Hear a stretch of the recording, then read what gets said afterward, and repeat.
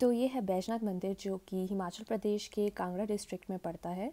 इधर हर साल महाशिवरात्रि पर बहुत बड़ा उत्सव होता है, जिसको देखने के लिए लोग काफ़ी दूर दूर से आते हैं। इस कारण महाशिवरात्रि के दिन यहाँ पे काफ़ी रश रहता है। लगभग दो या तीन घंटे लाइन में खड़ना पड़ता है बट एंड में जब दर्शन मिलते हैं तो जो सुकून मिलता है, वो बहुत ही अच्छा लगता है।